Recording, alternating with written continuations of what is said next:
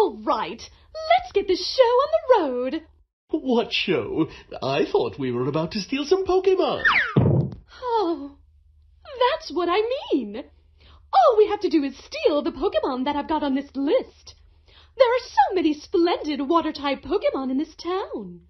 If we purloin the prettiest Pokemon, no one will be able to resist our gorgeous aquarium. But I don't see any Pokemon on this list. Well, of course you don't. If someone finds it, they won't be able to figure out what Pokemon we're after when we head to the town pool. And? And we'll get them and we'll put them in our own aquarium. And? We'll charge admission for everyone to come and see them. And We'll be rich! And that'll definitely impress the boss. I got the boat to pick up our winnings right here. Oh, perfect. There's just one little teensy tiny thing you forgot. What's that? How's that tiny boat going to fit all the Pokemon and us? If our submarine isn't big enough, how do you think that would be? We'd sink! A small detail. Oh, small is right. Let's get on with it and then go find a bigger boat. I'm so glad you were able to stop by Cerulean City, Ash. I'm glad too, Misty. We miss having you on the road with us.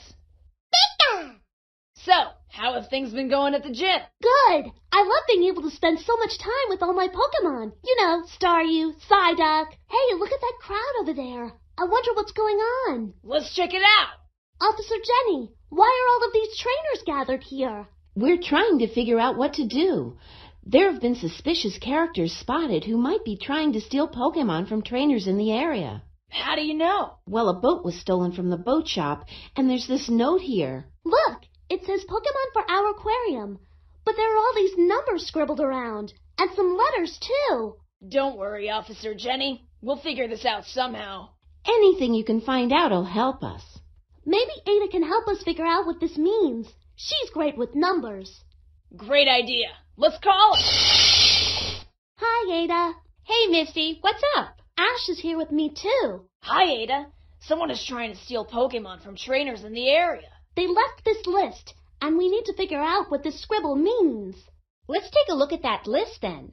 Hmm. Well, those numbers and letters could be put together. Math problems sometimes have missing numbers. Oh, okay. So if we find the missing numbers, it might have something to do with the Pokemon these thieves are trying to steal. You might get some good clues. So, let's start with the first one on your paper. H equals 1 plus 1. The H stands for the number we don't know, the number we're missing. So the H is called the variable. H is the variable. Got it. But how do we find out what H is? Well, since H is equal to 1 plus 1, and we know that 1 plus 1 equals 2, then H must be equal to... 2. Right. Hmm. I'm not sure that really tells us anything about the Pokemon. Maybe we should solve another one. Right underneath it is another problem with W. Let's do another one. Maybe then we'll know. Okay. 3 times W equals 99. What's the variable this time? What's the letter that stands for a number we don't know? W? Yes, W is the variable. But we want to put the W on the other side of the equal sign. That way, we'll be able to find out what number W stands for. How will we do that? When working with variables, you need to solve so that you get the variable by itself on one side of the equation. So what you do is set up the opposite operation. If this equation is 3 times W equals 99, It's a multiplication problem, right? right. And division is the opposite of multiplication. So we flip the equation around so it looks like this. 99 divided by 3 equals W. And since 99 divided by 3 equals 33, Then W equals 33? Yes. And there's another way you can look at solving these types of problems. Perform the same type of operation on both sides so that the side with the variable cancels out. In this case, dividing both sides by 3.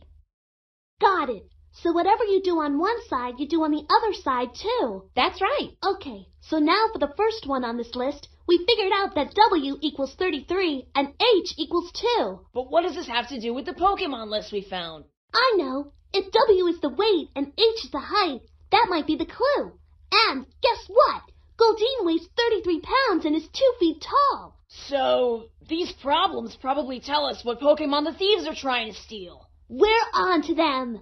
They must be trying to find a boat that will stay afloat with all of their weights. Once we figure the rest of these problems out, Officer Jenny can alert the trainers with these Pokemon before the thieves get to them. Thanks, Ada. Anytime. Good luck. Okay, before we get started, what does a variable stand for? Let's make sure we know. Yep, the variable is what we don't know.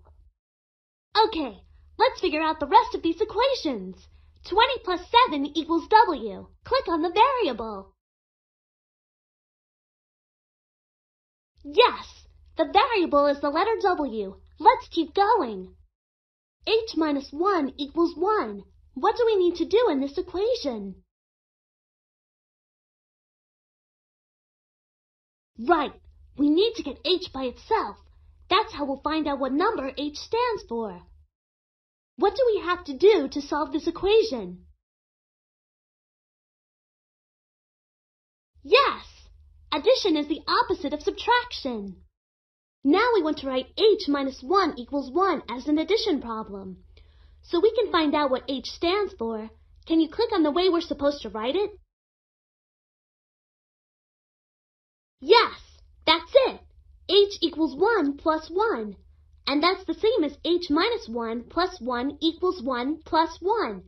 The minus 1 plus 1 on the left side of the equation cancels out. On to the next one. 22 equals 2 times w. So what do we do? Yep, division is the opposite of multiplication. So now, can you highlight the way we can write 22 equals 2 times w as a division problem? Yes, 22 divided by 2 equals W. We already figured out Goldeen, but now we can find the rest of the Pokemon the thieves are planning to steal. But we've got to hurry. Find out what number each variable is equal to.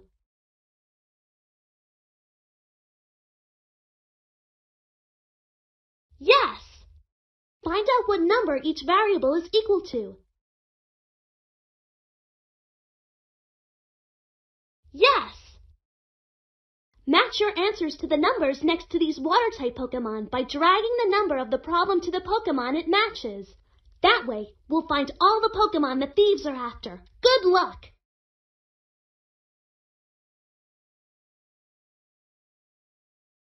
Yes, it's Poliwag. It weighs 27 pounds and is 2 feet high. Find out what number each variable is equal to.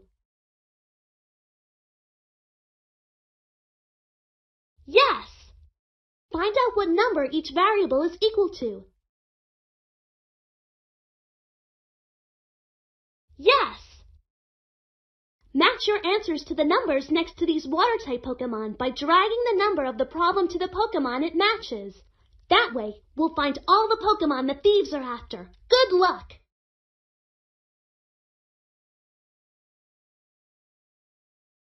Corsola. It weighs 11 pounds and is 2 feet high. Now that we've got the right boat. With all our stolen Pokemon? Off we'll float! What's going on here? Where are all the water-type Pokemon? Team Rocket! We should have known it was you. Pikachu! But you won't be stealing any Pokemon in this town. Officer Jenny was able to alert all of the trainers with Goldeen, Poliwag, and Corsola. They put them all in their Pokeballs, safe and sound. Oh, but, but, how did you know which of the Pokemon we were looking for? The list didn't say. Oh, what difference does it make? They're obviously on to us. They've got our number. You don't know how right you are. Pika!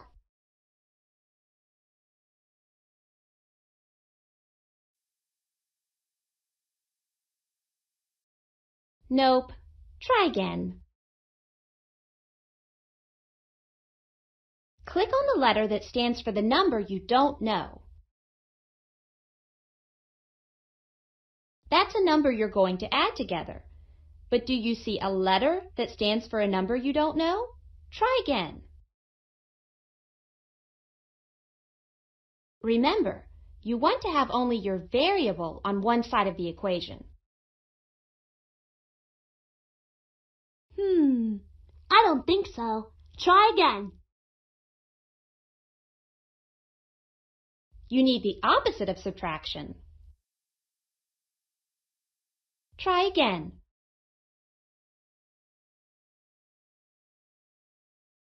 Remember, to get h by itself on one side of the equation, you have to do the opposite of minus 1 on the other side of the equation. Try again. Yes, that's it. h equals 1 plus 1. And that's the same as h minus 1 plus 1 equals 1 plus 1. I don't think so. Try again. Think again. We need to divide because it's the opposite of multiplication. Try again. Try again. Try again.